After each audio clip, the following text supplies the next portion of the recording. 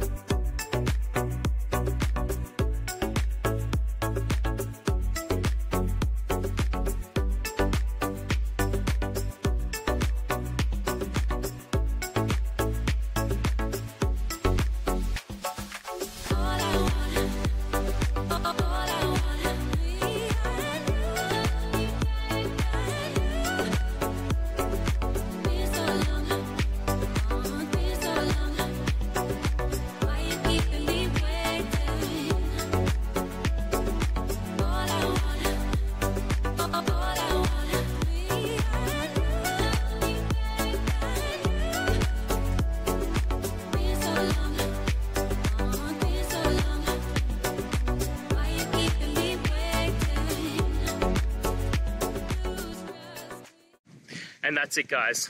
We've worked through, gone through your question, hopefully found that solution you're looking for. If we did, please hit subscribe. I really appreciate it. And until next time, you need technical help?